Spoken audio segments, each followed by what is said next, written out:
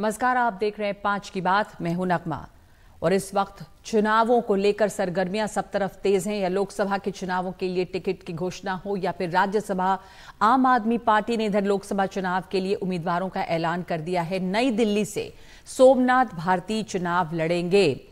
दक्षिण दिल्ली से सहीराम पहलवान, उनके कैंडिडेट हैं। पश्चिम दिल्ली से महाबल मिश्रा और पूर्वी दिल्ली से कुलदीप कुमार को उम्मीदवार बनाया जा रहा है। तो ये आम आदमी पार्टी ने दिल्ली के की चारों सीट में से अपने लोकसभा के लिए अपने उम्मीदवार घोषित किए हैं। हरियाणा के कुरुक्षेत्र से सुशील गुप्ता उम्मीदवार होंगे। हरियाणा के लिए भी ऐलान कर दिया गया है। कैंडिडेट का आम आदमी पार्टी ने अपनी आज लिस्ट जारी कर दी है। सुनते हैं क्या कहना है संदीप पाठक का। दिल्ली से, नई दिल्ली विधानसभा से श्री सोमनाथ भारती जी कैंडिडेट होंगे। साउथ दिल्ली लोकसभा से श्री सही राम जी कैंडिडेट होंगे। वेस्ट दिल्ली लोकसभा से श्री महाबल मिश्रा जी कैंडिडेट होंगे और ईस्ट दिल्ली लोकसभा से श्री कुलदीप जी कैंडिडेट होंगे। इसके साथ साथ हरियाणा में कुरुक्षेत्र लोकसभा से श्री सुशील गुप्ता जी आम आदमी पार्टी की तरफ़ से चुनाव लड़ेंगे। तो लोकसभा के लिए आम आदमी पार्टी ने दिल्ली से अपने उम्मीदवारों की घोषणा कर दी है। साथ ही हरियाणा के कुरुक्षेत्र से भी अपने उम्मीदवार का नाम साफ़ कर दिया है। हमारे साथ हमारे सहयोगी शरद शर्मा मौजूद हैं। इस पे चर्चा के लिए आकलन लोगों का क्या कहना है? अभी उम्मीदवार के नाम सामने आ गए हैं। किस तरह की चर्चा है उम्मीदवारों के चुनाव को लेकर? शरद, जैसे सोमनाथ भारती को नई दिल्ली से टिकट मिला है, कितने मज़बूत उम्मीदवार हैं वो नई दिल्ली से।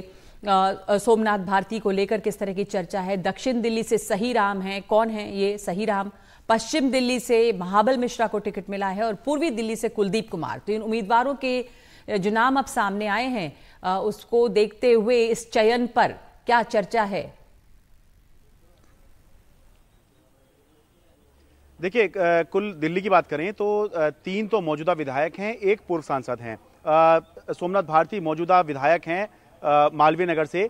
ये नई दिल्ली लोकसभा क्षेत्र के अंदर आने वाली सीट है और अपने इलाके में काफ़ी लोकप्रिय माने जाते हैं। आ, लोग ये बताते हैं इनके बारे में अक्सर ही सुनने को मिलता है कि आ, बहुत आसानी से आसानी से ये उपलब्ध होते हैं और कभी भी आ, इन तक पहुँचा जा सकता है जो एक आम लोग चाहते हैं। तो इस वजह से ये शुरू से ही काफ़ी पॉपुलर रहे हैं। पहली बार में ही ये मंत्री बन गए थे।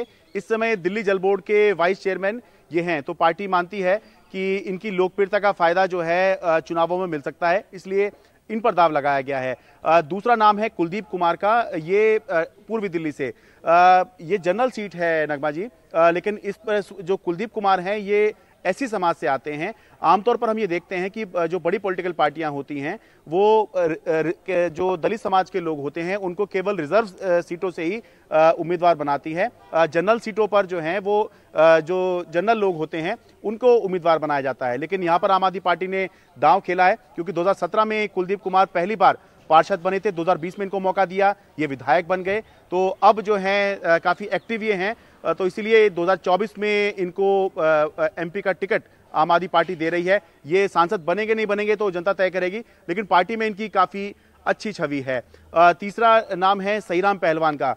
साउथ दिल्ली में जहाँ से रमेश बिदुड़ी आते हैं, जो मौजूदा सांसद हैं, ये वहीं से ही उन्हीं के समाज से आते हैं और तुगलकाबाद सीट जब से रमेश बिदुड़ी ने छोड़ी है, तब से सहीराम पहलवान वहाँ से विधायक हैं। तो आम आदमी पार्टी मानती है कि जैसे तुगलकाबाद में रमेश बिदुड़ी के एक दौर का इन्होंने अंत किया कि उसके बाद नहीं जीत पाए तो संभव है कि सहीराम पहलवान साउथ दिल्ली, दक्षिण दिल्ली सीट पर ये कमाल कर सकें कि रमेश बिदुड़ी अगर उम्मीदवार होते हैं तो उनको हराएँ। वेस्ट दिल्ली के लिए महाबल मिश्रा ये पहले सांसद रह चुके हैं कांग्रेस के की तरफ़ से। लेकिन अब क्योंकि इन, इनके बेटे भी आम आदमी पार्टी में विधायक हैं तो आम आदमी पार्टी में भी आ गए काफ़ी समय से तो इनको आम आदमी पार्टी ने उम्मीदवार बनाया है। तो आम आदमी पार्टी उम्मीद कर रही है कांग्रेस साथ गठबंधन है इस बार तो नतीजा आम आदमी पार्टी उम्मीद कर रही है। पिछली दो बार जैसा नतीजा इस बार ना हो। जी। धन्यवाद आपका हमारे साथ जुड़ने के लिए शरद और तमाम कैंडिडेट्स जिनके नाम सामने आए, उनके बारे में जानकारी देने के लिए महाबल मिश्रा जो हैं, वो सांसद हैं पहले और कांग्रेस में रहे हैं और ये जो हैं, इन्हें भी टिकट दिया गया है। इस समय पश्चिमी दिल्ली से यानी वेस्ट दिल्ली से महाबल मिश्रा कैंडिडेट हैं। कुरुक्षेत्र से भी नाम का ऐलान कर दिया गया है। कैंडिडेट के सुशील गुप्ता को टिकट दिया गया है। और दूसरी तरफ़ राज्यसभा के चुनावों को लेकर भी हलचल है, जिसके लिए वोटिंग हो रही है। उत्तर प्रदेश, कर्नाटक, हिमाचल प्रदेश, इन तीन राज्यों की पंद्रह राज्यसभा सीटों के लिए वोटिंग अब पूरी हो गई है। तो ये पंद्रह सीटें हैं कुल, जिसमें हिमाचल है, कर्नाटक है और उत्तर प्रदेश है। इनमें हिमाचल में एक सीट है और उत्तर प्रदेश में दस सीट है। इन सब के लिए अब वोटिंग पूरी हो गई है और वोटों की गिनती का वक्त आ गया है। कुछ ही देर में नतीजे भी आने लगेंगे। इस बीच अभी कई तरह की उथल पुथल की खबर है। हिमाचल में ये खबर आ रही है। फ़िलहाल कि छह कांग्रेस विधायकों ने क्रॉस वोटिंग की है। और यहाँ पर जो चुनाव हो रहा है, वोट जो पड़ रहा है, वो एक सीट पर वोट पड़ा है। इसके अलावा तीन सरकार समर्थक निर्दलीय विधायकों ने भी क्रॉस वोटिंग की है, यानी कि कुल हिमाचल में नौ लोगों के क्रॉस वोटिंग की खबर है। तो छह तो बताया जा रहा है कि कांग्रेस विधायकों ने क्रॉस वोटिंग की है और तीन जो सरकार समर्थक निर्दलीय विधायक हैं तो कुल नौ हो गए। इसका मतलब है कि वहाँ पर सरकार भी खतरे में पड़ सकती है। हालाँकि इस क्रॉस वोटिंग के बाद भी वो बहुमत में रहेगी। और उत्तर प्रदेश में देखिए यहाँ पे सात सता सपा के विधायकों ने क्रॉस वोटिंग की है। समाजवादी पार्टी के जो विधायक हैं, जिन्होंने क्रॉस वोटिंग की है, कुल सात, उसमें मनोज पांडे हैं, राकेश पांडे हैं, राकेश प्रताप सिंह हैं, अभय सिंह, विनोद चतुर्वेदी, पूजा पाल और आशुतोष मौर्य। और सुबह सपा के जगदीश नारायण राय ने क्रॉस वोटिंग की है। कुल तीन सौ पंचानवे वोट पड़े हैं। वोट देने के बाद कई विधायक यूपी के डेप्यूटी सीएम ब्रजेश पाठक के साथ नज़र आए। समाजवादी पार्टी के सात विधायकों ने क्रॉस वोटिंग की है। तो इसे लेकर एक अब ये देखा जा रहा है कि यहाँ पर क्या होता है। हालाँकि सपा यहाँ पे, ऐसा बताया जा रहा है कि इसकी कोई गुंजाइश नहीं है। वैसे नतीजे जो हैं वो बहुत जल्दी ही अब आ जाएँगे। गिनती वोटों की शुरू हो गई है। अखिलेश यादव ने एनडीटीवी के हमारे सहयोगी रणवीर सिंह से बात की है और बताया है कि जिन लोगों ने बगावत की है जिन्होंने क्रॉस वोटिंग की है उन सभी विधायकों को पार्टी से बाहर किया जाएगा। अखिलेश यादव समाजवादी पार्टी के अध्यक्ष हैं जिनसे बात की हमारे सहयोगी रणवीर सिंह ने। ये जो टूट हुई है इस पर सर क्या कहेंगे? देखिए ये टूट पहले से पता थी और इसलिए पता थी कि ये लोग समाजवादी पार्टी के कार्यक्रम में नहीं आए। पहले दिन आए फिर खाने पे नहीं आए। और जब खाने पे नहीं आए तो चर्चाएँ जो थी वो ये था कि कुछ पैकेज मिलने जा रहा है किसी को मंत्री बनाया जाएगा किसी को सिक्योरिटी मिली जाए मिलेगी आ, किसी को कुछ और पैकेज मिलेगा। मैं तो आपसे कहूँगा कि वो अंतरात्मा के माध्यम से वोट दिए हम तो आपसे कहेंगे कम से कम अंतरात्मा से ये तो बता दें पैकेज क्या था। अगले जी कितने लोग हैं अभी कुछ नहीं गिनती हैं जो दिखाई दिए हैं जो सरकार के साथ बैठे दिख रहे हैं उतने ही दिख रहे हैं एक दो और होगा। पार्टी से विदा हो जाए नमस्कार उनको। बहुत तो आपने देखा अखिलेश यादव जिन्होंने साफ़ कहा कि जो भी बगावत किया है वो पार्टी से बाहर जाएगा। और एनडीटीवी से बात करते हुए अखिलेश यादव ने साफ़ कहा कि अंतरात्मा की आवाज़ से आ, अपना वोट किसी और को देने वाले विधायकों पर कड़ी कार्रवाई की जाएगी। लखनऊ से कैमरा पर्सन राजगुप्ता के साथ रणवीर एनडीटीवी इंडिया के लिए। तो अंतरात्मा की आवाज़ कौन सुन रहा है, कौन नहीं, क्या हो रहा है, कौन किसको क्या डील मिल रही है, इन सब बातों पर काफ़ी हलचल और चर्चा है और इसके साथ साथ अब वोटों की गिनती भी शुरू हो गई है। तो कुछ ही देर में नतीजे आएँगे। बीजेपी ने जो एक उम्मीदवार उतारे एक्स्ट्रा वहाँ पे वो हैं संजय सेठ और उनका मुकाबला कड़ा बताया जा रहा है सभा के आलोक रंजन के साथ। कड़ी टक्कर है संजय सेठ से बात की है तनिष्क पंजाबी ने। हमारे साथ संजय सेठ जी जुड़े हुए संजय संजय जी जो दामादामी चल रही है उसको लेकर क्या करना है? एसपी की तरफ़ से क्रॉस वोटिंग हो रही है उसको लेकर नहीं ये तो देखिए हमें कुछ नहीं मालूम कि किसके वोट किस, किसको पड़े ये तो शाम को पाँच बजे के बाद पता चले। तो आप जीतने आप जीतेंगे? जीत के हम पूरी सुनिश्चित हैं। आप जीत में पूरी तरह से सुनिश्चित हाँ। हमारे साथ जुड़ गए हमारे सहयोगी रणवीर सिंह। रणवीर आपने अखिलेश यादव से भी बात की और उन वो कह रहे हैं कि साफ़ पता था कि वो कौन लोग होंगे। ऐसा कोई इसमें ताज्जुब नहीं है। कोई सरप्राइज़ नहीं है। पता ही था कि कौन लोग क्रॉस वोटिंग करेंगे तो कुछ तैयारी थी इसकी पार्टी के पास। अब इनको बाहर निकालने की बात भी कर रहे हैं अखिलेश। और इस समय की स्थिति क्या दिख रही है? हालाँकि कुछ ही देर में अब वोटों पर रिज़ल्ट जो है वो आ जाएगा। किस किस तरह से, कहाँ पर क्या हुआ क्रॉस वोटिंग हुई, किसने कैसे धोखा दिया? और इधर ये भी बताया जा रहा है कि संजय सेठ और सपा के आलोक रंजन के बीच में भी कड़ी टक्कर है।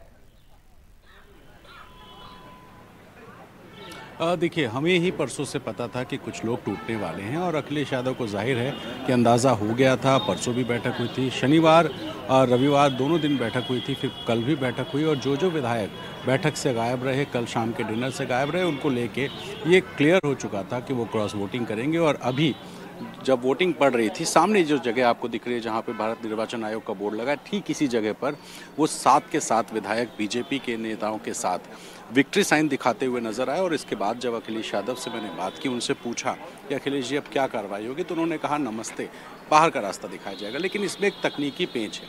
तकनीकी पेच क्या है, समझिए। अगर किसी विधायक को पार्टी बाहर का रास्ता दिखाती है तो विधायक निर्दलीय हो जाता है, उसकी सदस्यता नहीं जाती है, क्योंकि दल बदल कानून उस पर लागू नहीं होता है।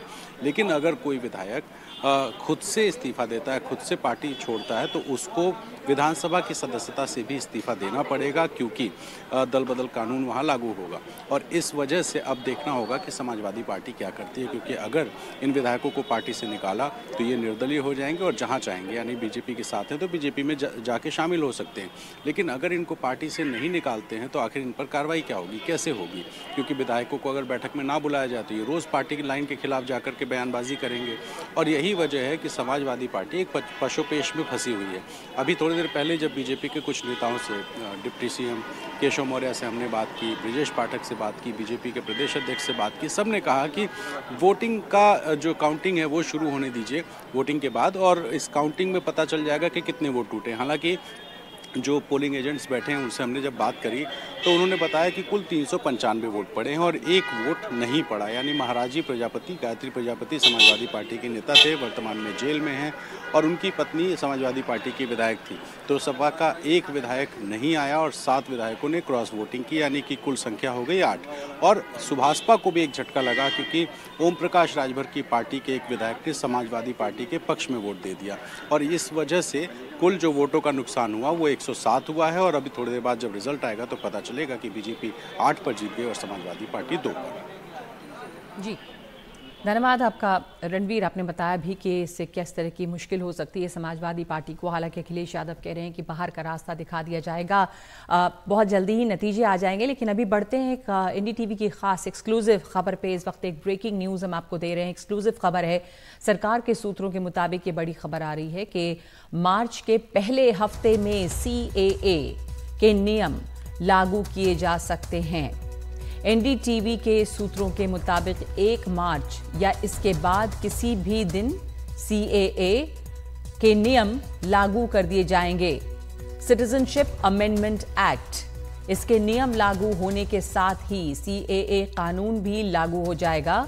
सरकार में उच्च पदस्थ सूत्रों ने एनडीटीवी को बताया है कि सीएए लागू करने के लिए बाकायदा पोर्टल के तैयार कर दिया गया है। और सी कानून, यानी कि सिटीजनशिप अमेंडमेंट एक्ट यानी कि नागरिकता संशोधन कानून 2019 तीन पड़ोसी देशों, पाकिस्तान, अफ़गानिस्तान और बांग्लादेश के उन अल्पसंख्यकों को भारतीय नागरिकता देने का रास्ता खोलता है, जिन्होंने लंबे समय से भारत में शरण ली हुई है।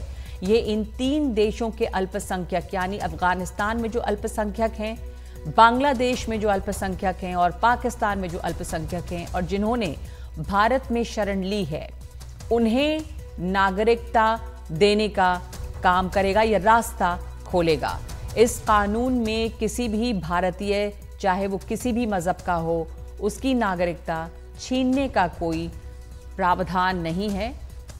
हमारे साथ इस खबर के विस्तार के साथ जुड़ रहे हैं विकास भदौरिया। विकास साहब, जानकारी इस पे क्या डिटेल्स मिली हैं? देखिए, बिल्कुल ये बड़ी खबर है इस वक्त। हमारे सूत्रों ने इस बात की जानकारी दी है कि मार्च के पहले हफ़्ते में सी यानी कि भारतीय नागरिकता संशोधन कानून के रूल्स जो है वो फ्रेम हो जाएँगे, यानी कि नियम लागू कर दिए जाएँगे। आपको पता है कि ये कानून पहले ही संसद पास कर चुकी है, राष्ट्रपति इस पर हस्ताक्षर कर चुके हैं और एक्ट बन चुका है। लेकिन इसके रूल्स फ्रेम नहीं हुए थे, क्योंकि देश भर में जब सीए कानून पास हुआ था, बहुत ज़बरदस्त विरोध प्रदर्शन हुआ था। दिल्ली से लेकर और लखनऊ, गुवाहाटी, बेंगलोर, भोपाल, सब जगह ज़बरदस्त विरोध प्रदर्शन हुए थे, जिसके बाद सरकार ने रूल्स फ्रेम करने का काम रोक दिया था। लेकिन अब एनडीटीवी इंडिया को उच्च पदस्थ सूत्रों ने ये जानकारी दी है कि मार्च के पहले हफ़्ते में सीए के रूल्स फ्रेम कर दिए जाएँगे, यानी कि सीएए लागू कर दिया जाएगा। और 2014 से पहले जो भी बांग्लादेश, अफ़गानिस्तान या पाकिस्तान से ऐसे व्यक्ति, ऐसे लोग जो भारत आके शरण लिए हुए हैं और वे खास केवल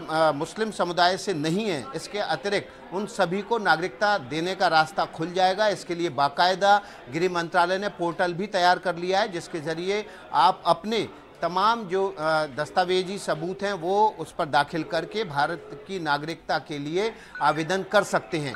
तो जो हमारे सूत्रों ने जानकारी दी है, उसके मुताबिक मार्च के पहले हफ़्ते में सीए के रूल्स फ्रेम हो जाएँगे और ये संभवतः तारीख एक मार्च भी हो सकती है।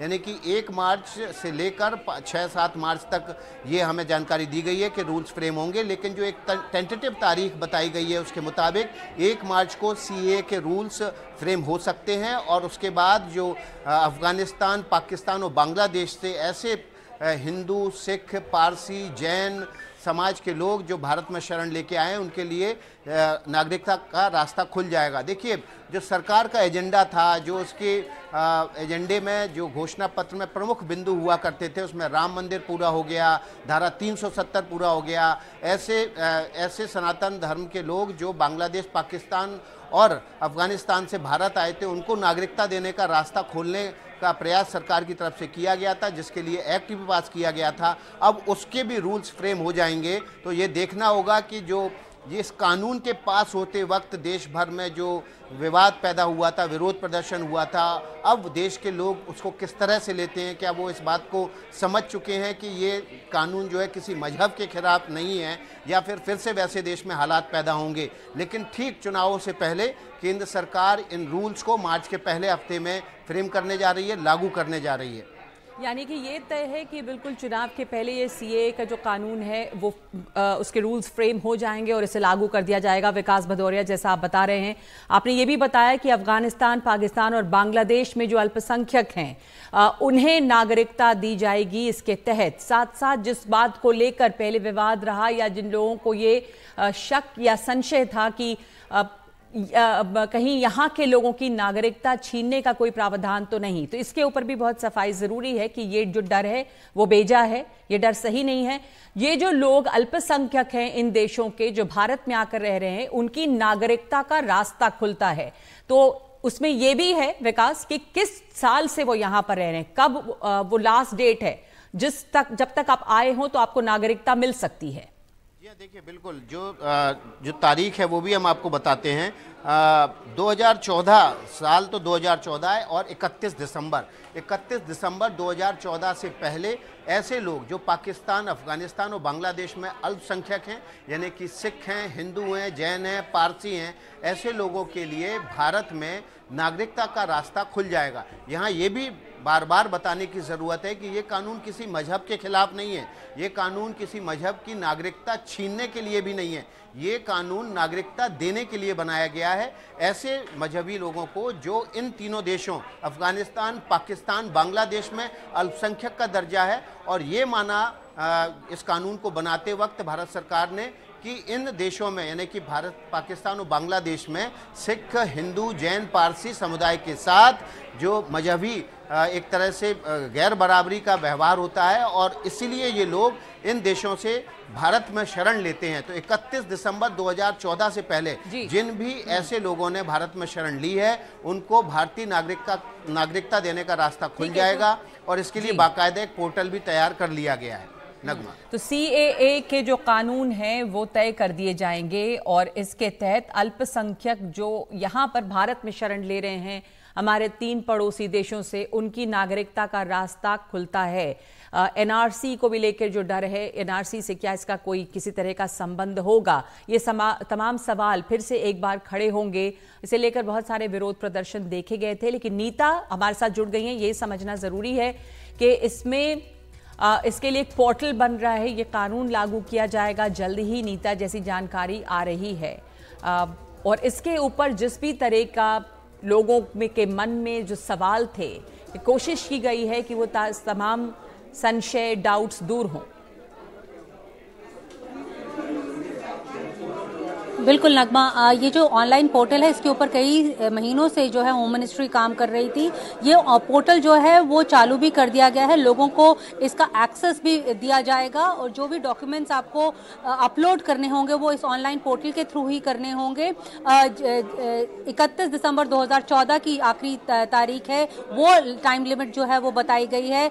ये पूरा बस सिर्फ़ रूल्स क्योंकि नोटिफाई नहीं हुए थे, बाकी का पूरा होमवर्क जो है वो होम मिनिस्ट्री ऑलरेडी कर चुकी है। कई बार ये सवाल जो है वो लोकसभा, राज्यसभा में पूछा जा चुका है कि आखिर क्या वजह है कि आपने ये कानून तो ले आए लेकिन रूल्स जो है वो नोटिफाई नहीं हो रहे थे। क्योंकि इसके खिलाफ जो है एक एक समूह में काफ़ी एक एक रिजर्वेशन थी, उसे लेकर यही वजह थी कि अभी तक इन्हें नोटिफाई नहीं किया गया था। लेकिन यह माना जा रहा है कि एमसीसी लागू होने से पहले सरकार जो है, वो इनको नोटिफाई कर देगी। हालाँकि जो इस समुदाय से जो लोग बिलोंग करते हैं, कई ऐसे डिस्ट्रिक्ट्स हैं, चाहे वो गुजरात हो, चाहे पंजाब हो, चाहे हरियाणा हो, वहाँ पे कई डिस्ट्रिक्ट्स में ऑलरेडी सिटीजनशिप जो है वो दी जा रही है। लेकिन सीए के तहत इन चार धर्मों को भी जो सिटीजनशिप है वो दी जाएगी। जो टाइमलाइन है वही है इकतीस दिसंबर 2014 जो लोग यहाँ पर आए हैं ऑनलाइन पोर्टल में आपको रजिस्टर करना होगा, अपने डॉक्यूमेंट्स जो हैं वो अपलोड करने होंगे जिसके तहत आपको नागरिकता दे दी जाएगी। माना जा रहा है क्योंकि मार्च के पहले या दूसरे हफ़्ते में चुनाव जो है वो डिक्लेयर कर दिए जाएँगे। उससे पहले ये जो सीए रूल्स हैं, उन्हें नोटिफाई किया जाएगा सरकार द्वारा। नगमा? जी। बहुत शुक्रिया आपका नीता शर्मा हमारे साथ जुड़ने के लिए विकास भदौरिया। धन्यवाद आपका। ये एनडीटीवी की ब्रेकिंग न्यूज़ एक्सक्लूसिव खबर है कि एक मार्च है, इसके बाद जल्द ही लागू हो सकते हैं सीए के कानून, यानी इन्हें नोटिफाई कर दिया जाएगा और ये सरकार के सूत्रों के हवाले से खबर आ रही है। और ये इससे साफ़ हो रहा है कि जो अफ़गानिस्तान, पाकिस्तान और बांग्लादेश के अल्पसंख्यक हैं, जिसमें हिंदू हैं सिख हैं, पारसी हैं, इन सब की नागरिकता, जिन्होंने भारत में शरण ली हुई है इकतीस तारीख 2014 में। उन लोगों की नागरिकता का रास्ता ये खोल रहा है, उनको नागरिकता दी जाएगी। और ये एनडीटीवी की एक्सक्लूसिव जानकारी है, ब्रेकिंग न्यूज़ जिस हम आपको, जिसके विस्तार बता रहे हैं कि एक मार्च को शायद या उसके फ़ौरन बाद सी सीए के लिए जो पोर्टल तैयार कर लिया गया है, अब उसमें कानून को नोटिफाई जल्द ही कर दिया जाएगा। इसके फ़ौरन बाद से या एक मार्च से ये लागू हो सकता है। तो एक ब्रेक ले रहे हैं इस समय पाँच की बात में।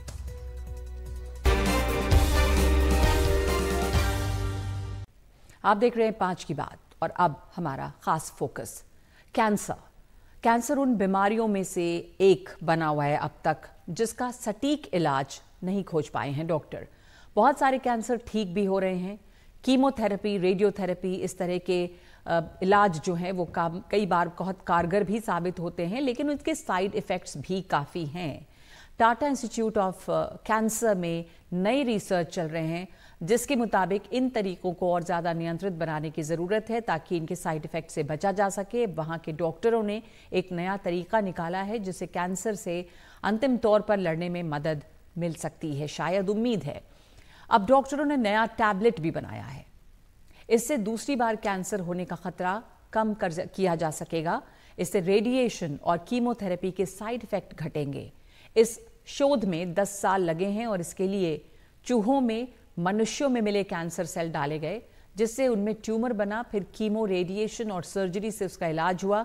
मगर देखा गया कि कैंसर सेल्स मर जाती हैं तो बहुत छोटे छोटे टुकड़ों में टूट जाती हैं और इन टुकड़ों को क्रोमो, क्रोमेटिन कण कहा जाता है। क्रोमेटिन कण खून के साथ शरीर के दूसरे हिस्सों में भी जा सकते हैं और स्वस्थ कोशिकाओं को कैंसर सेल में बदल सकते हैं, यानी कि कैंसर एक बार फिर होने का खतरा बना रहता है। डॉक्टरों ने इस मुश्किल का हल खोजा है। उन्होंने चूहों को रेस्वेरिट्रोल और तांबे के साथ प्रो ऑक्सीडेंट टैबलेट दी है, जिसे क्रोमेटिन कण का असर रोका जा सके। हालाँकि अभी इस टैबलेट को एफएसएसआई की मंजूरी मिलना बाकी है। लेकिन ये ही समझना ज़रूरी है कि ये जो शोध है, वो कितना महत्वपूर्ण है और क्या कितना पाथ ब्रेकिंग है, क्या फ़ायदा इससे मिलेगा? डॉक्टर शालिनी सिंह हमारे साथ जुड़ रही हैं, ख़ास मेहमान जो डायरेक्टर हैं आईसीएमआर की और आईसीएमआर एनआईसीपीआर में। डॉक्टर शालिनी, बहुत धन्यवाद आपके समय के लिए। जो नया research Tata memo cancer institute में हुआ है और ये जो टैबलेट की बात हम कर रहे हैं, उसके बारे में ज़रा जानकारी देंगे कि ये रिसर्च कितना इम्पोर्टेंट है? कैंसर के ट्रीटमेंट में किस तरह की मदद इससे मिलेगी?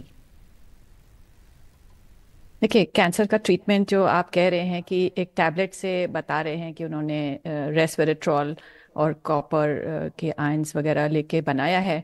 तो ये पॉसिबल है Uh, क्योंकि आप uh, हम लोग के पहले भी स्टडीज़ uh, हो चुकी हैं जिसमें रेस्पिरेट्रॉल एक कहते हैं एंटीऑक्सीडेंट होता है जो कि रंगीन फल सब्जियों में मिलता है जैसे कि ब्लैक ग्रेप्स हैं तो इसी इस तरह के पदार्थ जो होते हैं बेसिकली एंटीऑक्सीडेंट होते हैं।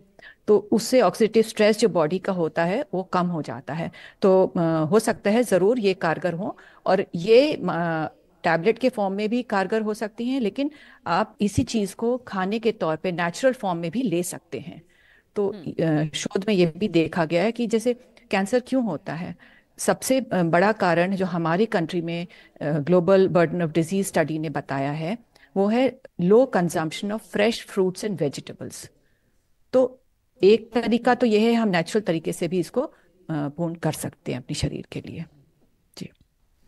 जी, और बहुत इंपॉर्टेंट आपने बात बताई तो फ़ूड सप्लीमेंट्स आप नेचुरल फ़ूड की भी बात कर रही हैं तो उसके बारे में भी थोड़ा और जानकारी दे दें कि जो जिन चीज़ों से जो ऐसे फल होंगे जिसमें रेस्वेरेट्रॉल मिलता है, जो इस तरह की सब्ज़ियाँ हैं जो प्रो ऑक्सीडेंट या टैबलेट्स के साथ भी दी जा रही हैं, तांबे के साथ प्रो ऑक्सीडेंट टैबलेट्स दी जा रही हैं रेस्वेरेट्रॉल बनाया गया है, इससे होता क्या है? मतलब कैंसर के जो दोबारा अक्रंस के चांसेस कम हो रहे हैं। क्योंकि अभी देखा जा रहा है कि अगर कैंसर ठीक भी होता है तो फिर भी हो जाता है, कई बार।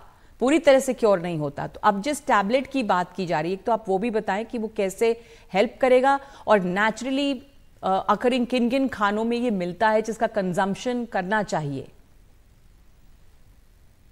सी वो तो जो रिसर्चर्स हैं वो आपको डिटेल बताएँगे। हम लोग बात करें अगर नेचुरल फूड्स की तो हम्म। उसमें ये है कि सबसे इम्पोर्टेंट जो आपका कहते हैं ना सूत्रधार जो है वो आपको प्रोसेस्ड फूड्स या अल्ट्रा प्रोसेस्ड फूड्स जो है, उसका कंजम्पशन आपको कम करना है। सीमिक इंडेक्स फूड्स हैं, जैसे बहुत मीठा है या बहुत मैदा है या इस तरह के जो पदार्थ हैं, उससे होता क्या है कि बॉडी में इंसुलिन और insulin like signalling system activate होता है। उसके थ्रू एक कैस्केड ऑफ़ मेटाबॉलिक होता है, जो जिसको कहते हैं कि पी आई थ्री ए के टी सर और एथरोस्लोसिस डायबिटीज़ इन सब के लिए रिस्पॉन्सिबल होता है। तो ये पाथवेज तो कॉमन है। तो अगर हमें करेक्ट करना है तो हम नेचुरल फ़ूड से करेक्ट भी कर सकते हैं। शोध के लिए, क्योंकि चूहों में और सेल लाइंस में हम स्टडी करते हैं तो हम लोग कोई एक पदार्थ बना लेते हैं, उससे हम स्टडी करते हैं। बट जब आप इसको पब्लिक या ह्यूमन बींग्स में लाएँगे तो आप जी। किसी स्टेज पे टैबलेट काम आती है किसी स्टेज पे नेचुरल फ़ूड प्रोडक्ट काम आते हैं। तो हम नेचुरल फ़ूड से मतलब लॉजिक के लिए अपील करता है कि नेचुरल फूड्स भी ये पदार्थ देते हैं जिससे कि कैंसर और ये सब बीमारियाँ डायबिटीज़ हार्ट डिज़ीज़ ये सब कम हो सकते हैं। हम्म, हम्म। बहुत धन्यवाद आपका डॉक्टर शालिनी। आपने बताया कि नेचुरल फ़ूड जो है हमारे जो प्रकृति में जो खाना पान मिल रहा है उसमें भी इस तरह के पदार्थ मिलते हैं जिनका कंजम्पशन जिनका खान पान बढ़ाना चाहिए। प्रोसेस्ड फ़ूड मैदा, चीनी, इन चीज़ों का उपयोग कम किया जाए। जो फ्रेश फल और सब्ज़ियाँ हैं, रंगीन, उनका उपयोग बढ़ाने से जो एंटीऑक्सीडेंट जिनमें ज़्यादा रहते हैं कैंसर के चांसेस को वो घटाता है। एक ब्रेक ले रहे हैं पाँच की बात में, और आगे सुप्रीम कोर्ट ने पतंजलि के खिलाफ एक बड़ा कदम उठाया क्या है ये कदम? इस ब्रेक के बाद।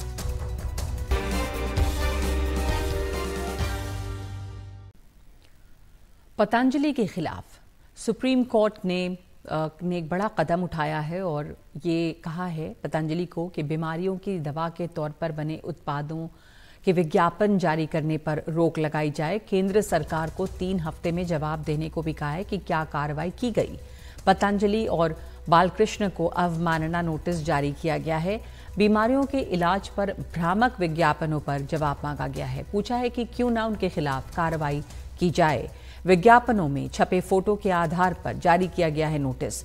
सुप्रीम कोर्ट ने यह चेतावनी दी है कि प्रिंट या अन्य मीडिया में किसी भी रूप में किसी भी चिकित्सा प्रणाली के खिलाफ बयान ना दें।